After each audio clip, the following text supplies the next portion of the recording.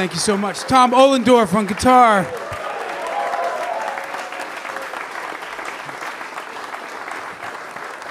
Connor Chaplin on the bass.